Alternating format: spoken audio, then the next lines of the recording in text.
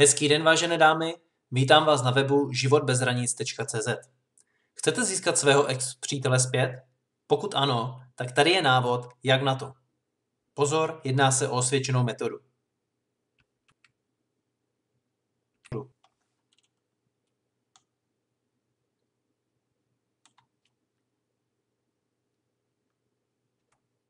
Možná v tuto chvíli nevíte nebo si nejste jistá, zda váš ex má či nemá zájem o znovu rozmíchání vašeho vztahu.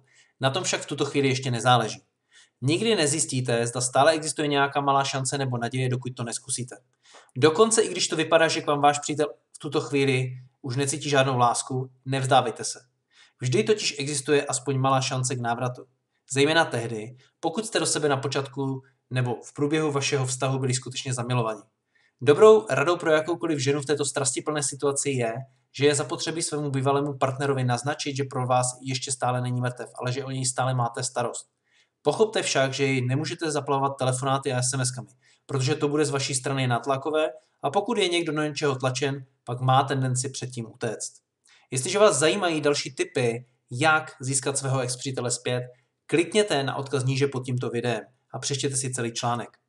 Uvidíme se na druhé straně. Přeji vám hezký den.